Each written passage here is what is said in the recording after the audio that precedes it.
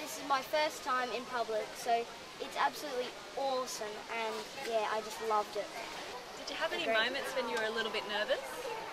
Um, yeah, it's, it's sometimes kind of funny when they're going like right when they're walking right at you. you it's kind of it's kind of funny watching that how they're striking up, but not not too nervous. It was but it was pretty fun.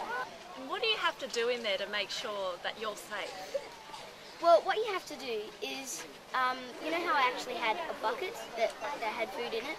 And I was actually, uh, you've got to make sure that the bucket is down so that if they're striking, you don't get bitten on the legs. So that's one thing to do, and to also make sure that you're not too close to them um, is one thing also. Well, next, I'd like to feed a salty, a saltwater croc. No, big, That- big alligator. I mean, big alligator.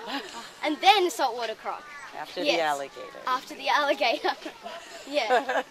So Terri, as a parent, you've got interesting landmarks as your children grow up. That's right. Um, it's funny how all parents do that. So you have your boundaries where you say that's how high you can climb the tree, or this is when you can cross the street without holding my hand, or you know you can uh, ride your bicycle on across the jumps when you're a certain age. We all do that, and I think growing up at a zoo is different Yeah. because Robert There's a lot of begs me begs me nonstop to get in with Yeah. everything. So.